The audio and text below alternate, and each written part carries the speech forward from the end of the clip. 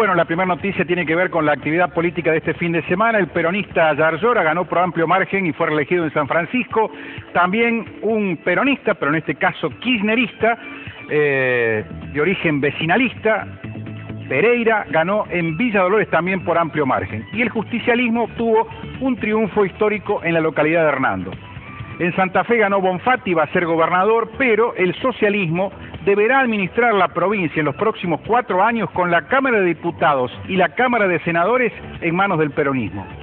Se, quemó este fin de semana un 30% lamentablemente de la reserva del Parque San Martín. Allí en la zona periférica con otros barrios hay una cantera que se usa como basural y aparentemente alguien de manera negligente inició el fuego.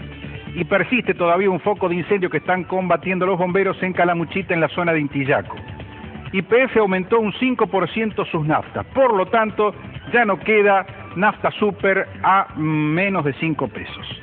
Crece denunciará a los partidos políticos por ensuciar la vía pública. El presidente de la empresa, que es Fernando Cámara, se va a dirigir en las próximas horas a tribunales para hacer la presentación penal por la violación del Código Penal y Administrativo. Hay un brote que no cede, que empezó en febrero, de tos convulsa. Eh, hay un caso mortal registrado en el hospital de niños de semanas atrás. En Barrio Irigoyen, una mujer cansada de ser maltratada, de ser golpeada por su marido, lo mató de dos balazos después de una pelea y se entregó a la policía. Y está muy grave un chico de 13 años que en una pelea de riñas que se citaron por internet para hacer esa pelea, hubo una balacera y una bala de 9 milímetros le interesó la zona craneal y está en grave estado. Y en Villa Angelelli, esta madrugada mataron a un hombre dentro de su domicilio, se desconocen las causas todavía, la policía está investigando.